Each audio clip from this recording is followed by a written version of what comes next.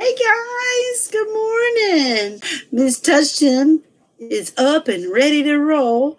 I wanted to tell you today about zoo animals and who is at the zoo. I know you probably know some people that have been to the zoo. Maybe you've been to the zoo.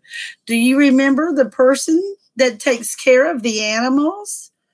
That's right, the zookeeper. So the zookeeper takes care of the animals, and the place that the animals live is called the habitat.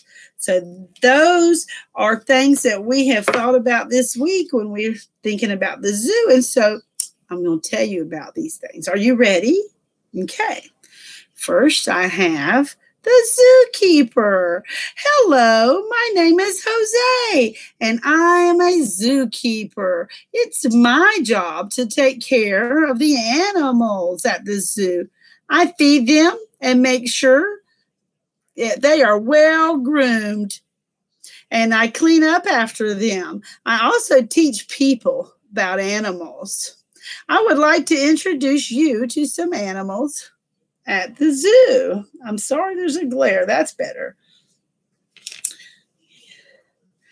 This, this is Jessica. She's a spider monkey. She uses her long arms and her legs to swing from the trees. Oh, and her tail. And she swings from the trees. Her long limbs help her snatch things away from the visitors, like the banana that she's holding in her hand. She took her banana from somebody. Oh, silly monkey. I had a baby squirrel monkey when I was a little girl. Let's see. What? Who is this?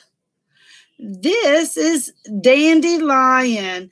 He is one of my favorite residents. In the wild, the lions are the king. They rule over all the other animals. Lions are the second largest cat in the world. Do you know which cat is larger? Hmm. Do you know?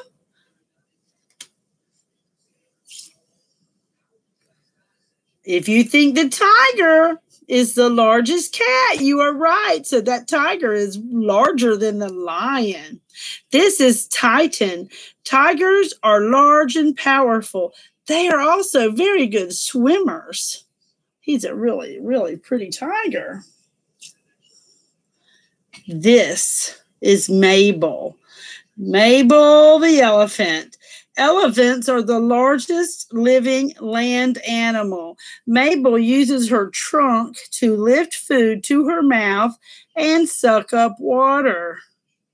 So their trunk, they use it. It's got for for feeding themselves, for drinking. They just use their trunk for all kinds of things. It's like really neat. Who do we have here? Chili the giraffe. She is the tallest animal at the zoo. Her long neck helps us helps her reach green leaves way up high in the trees. Her tongue is 16 inches long. Can you imagine having a tongue that long? 16 inches. Gosh, that's that's probably like about right there. That's a huge tongue. Look at my baby. We have a new baby at the zoo. This is Xena. Baby zebras are called foals, just like a baby horse. Zebras are members of the horse family. They run very fast. When I look at this zebra, what do you notice? She has stripes. She's a striped animal. Very, very pretty. And this, my friends, this is a meerkat. This is probably be one of your favorite zoo animals. Missy is a meerkat. She sleeps in a dark burrow under the ground. As soon as the sun rises, she is up, and all her little furry friends hurry up to soak up the sun's rays. So she likes to get up really, really early. That's what I like to do too. There are many more animals at the zoo. I hope you get to go and see them very soon. Thank you for listening to Miss Touchton's uh, story about who is at the zoo. Wow. Look at on the picture, the monkey is on the elephant's head. That's so silly. Have a good day.